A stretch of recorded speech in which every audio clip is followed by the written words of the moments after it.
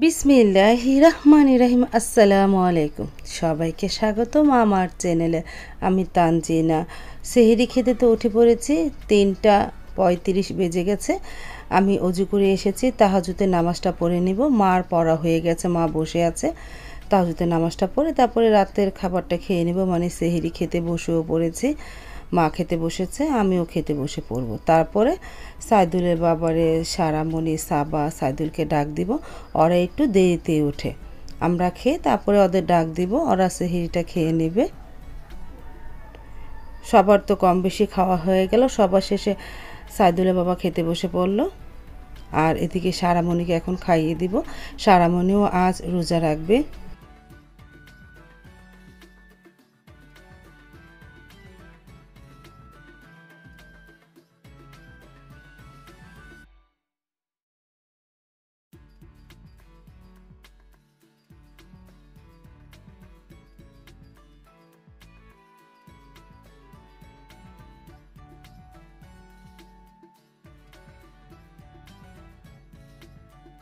সেহরি খাওয়া হয়ে গেছে, সব গোছানো হয়ে গেছে। তারপরে ডাল, বুট, ডাবলি ভিজিয়ে রাখলাম। তারপরে তো আজান দিয়ে দিবে, আজান দিলে নামাজটা পড়ে নিব। আজান দিয়েও দিয়েছে, এখন নামাজটা পড়ে নিতেছে। সাবা তো বসে পড়ে, দাঁড়িয়ে গেছে নামাজে, আমি এখন দাঁড়িয়ে যাব নামাজে। শুভ সকাল। সকাল হয়েছে অনেকক্ষণ আগে। এখন বেজে গেছে প্রায় সাড়ে নটার মতন। আমি ঘুম থেকে উঠে বুটটা সিদ্ধ করে নিতেছি আর পাশে চুলা ডাবলিটা বসিয়ে দিয়েছি। আর এদিকে ডালটাও ব্লান্ডারে ব্লেন্ড করে নেব। আমি সকাল সকালে উঠে এগুলি করে নিতেছি। এই যে ডালটা ব্লান্ডারে ব্লেন্ড করে নিলাম। আমি এক সপ্তাহটা ব্লেন্ড করে নিতেছি। তারপর ছোটো ছোটো পোলটা করে ফ্রিজে রেখে দেব। আর সাইদুল্লা বাবা সকালে ঘুম থেকে উঠে ফ্রেশ হয়ে গোসল টোসল করে দোকানে যাওয়ার আগে বাজারে গিয়েছিল। ইলিশ মাছ আর বেলে মাছ পাঠিয়েছে আর কয়েকটা মুরগি পাঠিয়েছে। এই যে প্রায় পাঁচটা মুরগি পাঠিয়েছে। ভাবি এখন সব কিছু কেটে দিবে। তারপর আমি গুছিয়ে রাখব।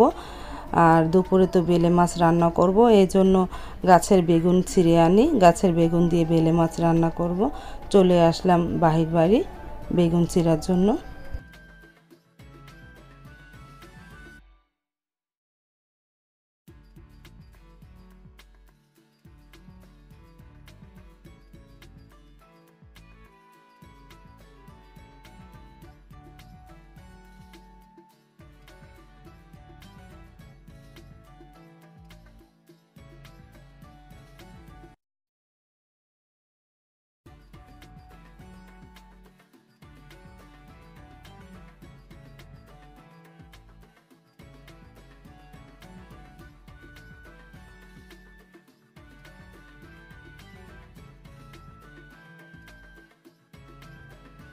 আর এদিকে ভাবি তো মাছ কেটে দিয়ে গেল। আমি মাছে লবণ মেখে রেখেছি আর ইলিশ মাছ ফ্রিজে রেখে দিয়েছি। আর মুরগি গোস্তগুলো মানে ফ্রাইয়ের জন্য কেটে নিলাম। আজ কিছু ফ্রাই করব আর বাকিগুলো পোলটা করে ফ্রিজে রেখে দেব। প্রায় ঘণ্টা খানিক পর রান্নাঘরে চলে আসলাম, প্রায় তিনটার দিকে, দুপুর তিনটার দিকে রান্না করতে চলে আসলাম। বেলে মাছ, বেগুন আলু দিয়ে রান্না করব, বেলে মাছটা লবণ দিয়ে রেখেছিলাম। আর মুরগির কলিজা, গিলা, করলা ভোনা করব। আর পুঁই শাক রান্না করব। পুঁই শাকটা তো চুলায় বসিয়ে দিয়েছি, লবণ দিয়ে ভাপে সিদ্ধ করে নিয়ে পরে বাগার দিব। আর এদিকে আমি আলু, ডিম সিদ্ধ করে নিয়েছি। সে মানে ইফতারির জন্য ডিম চপ বানাবো আলু চপ বানাবো। তারপর তো বেলে মাছটা মেখে ঝুঁকে বসাবো। আমি পেঁয়াজ, কাঁচামরিচ, লবণ, একটু হলুদ গুঁড়া, মরিচ গুঁড়া, ধনিয়া গুঁড়া, আর দেবো সরিষার তেল। ভালোভাবে মেখে মানে মাখা জোখা তরকারি, ভালোভাবে মেখে অল্প একটু পানিতে চুলায় বসিয়ে দিব।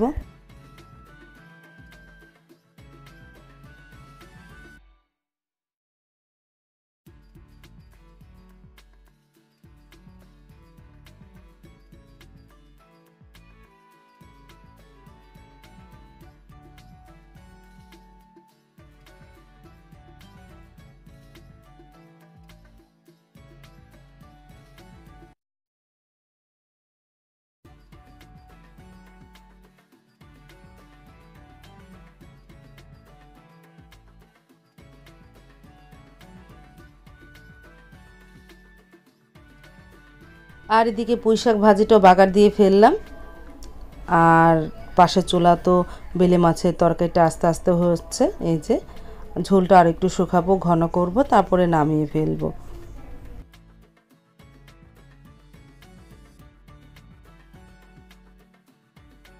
বেলে মাছের তরকারি তো হয়ে গেল, আমি এখন মশলাটাকে ভালোভাবে কষিয়ে নিয়েছি। মুরগি কলিজা গিলা আর কল্লার জন্য সেটাকে ভুনা করে নিতেছি।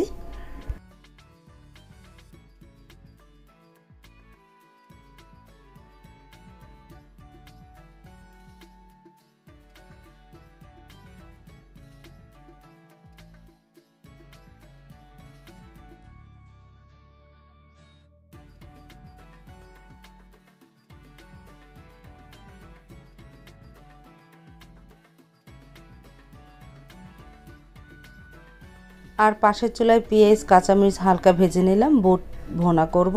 আমি তো বোট এভাবেই ভোনা করি। আমি কোনো হলুদ মরিচ বা আদা, রসুন কিছুই দেই না। এই পেঁয়াজ, কাঁচামরিচ তেলের মধ্যে ছেড়ে হালকা ভেজে বোটটা ভোনা করে ফেলে এখন একটু লবণ দিয়ে নেব। সাইদুল বাবা আবার বোট ভোনায় ময় মশলা দিলে বা আলু দিলে খেতে চায় না। সে এভাবে ভোনাটাই খেতে চায় মানে শুকনা শুকনা ভোনা। কোনো ময় মশলা দেওয়া যাবে না।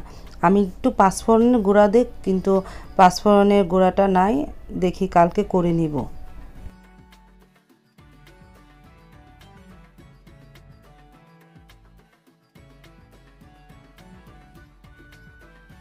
রান্না তো শেষ হয়ে গেছে, আমি ডিমটা ছুলে নিলাম, কেটে নিলাম, আলুটা মথে নিব আলু চপ বানাবো, আর এদিকে ডাল ভালোভাবে ময় মশলা দিয়ে মেখে নিব, বেসন গোলাবো মানে অন্য কাজগুলিও সারবো।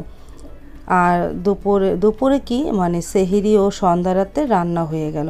পুঁই শাক ভাজি, মুরগি কলিজা গিনা ভুনা, আর বেগুন আলু দিয়ে বেলে মাছের তরকারি। এই, তারপর তো আসরে নামা শেষ করে রান্নাঘরে চলে আসলাম।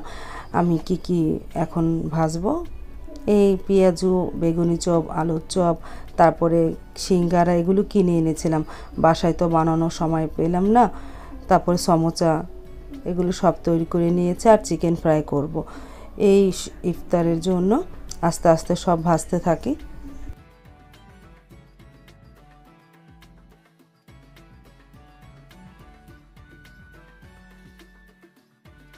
এই যে ভাজা শুরু করে দিলাম, প্রথমে আলু চপগুলো ভেজে নিতেছি, এক এক করে সব ভেজে ফেলব।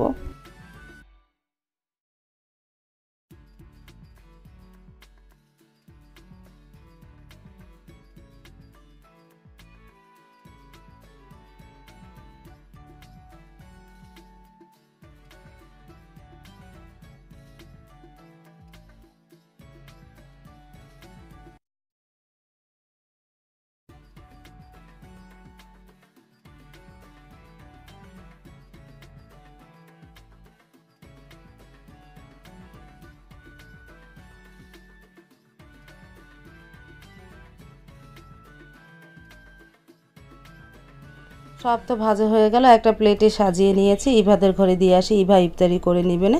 আর মিরানকে ডাক দিয়েছি, মা তো আমাদের ঘরে ইফতারি করবে, আর যেভাবে আমার কাজে সাহায্য করে তাকেও ইফতারি দিয়ে ফেলাম তারপরে আমরাও ড্রয়িং রুমে বসে পড়লাম ইফতারি করার জন্য। সব কিছু নিয়ে শরবত গুলানো হয়ে গেছে, একটু পরেই আজান দিয়ে দিবে। সাইদুল শরবত গ্লাসে গ্লাসে বেড়ে ফেলতেছে। আজান দিয়ে দিয়েছে এখন সবাই ইফতারিটা করে ফেলতেছি।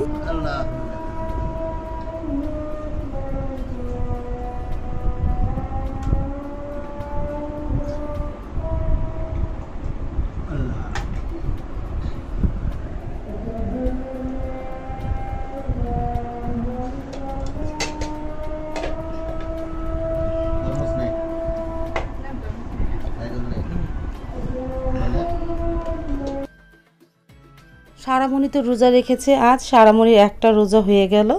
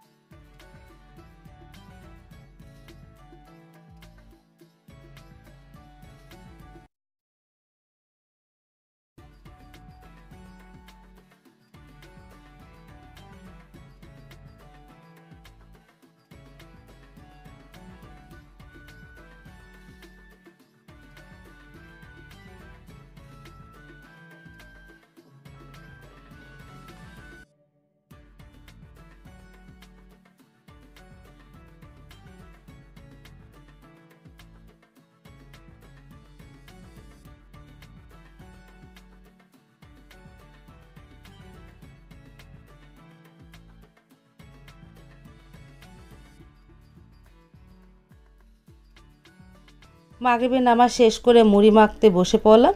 সাইদুলের বাবা তো আবার মুড়ি মাখাটা খুব পছন্দ করে।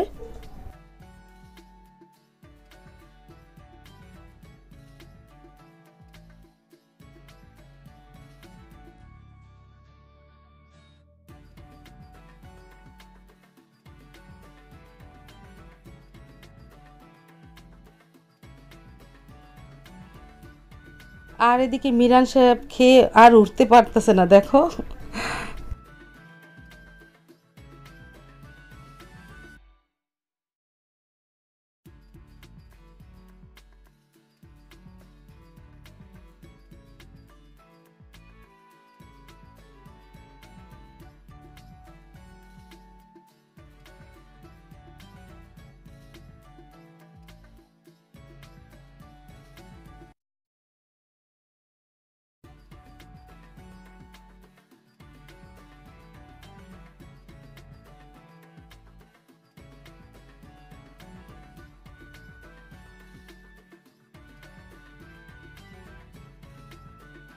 আজ তাহলে এই পর্যন্ত দেখা হবে আগামীকালকে নতুন আরেকটা ব্লগ নিয়ে। আল্লাহ হাফেজ।